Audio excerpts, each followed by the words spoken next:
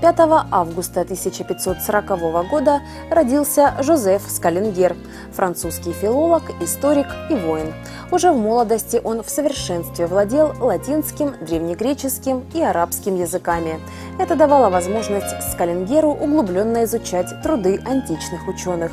Вскоре выяснилось, что различные системы летоисчисления у разных народов не позволяют синхронизировать описываемые в древних книгах события. Потратив не один десяток лет, Жозеф путем сопоставления дат солнечных затмений, взрывов вулканов и других значимых событий составил единую историческую хронологию.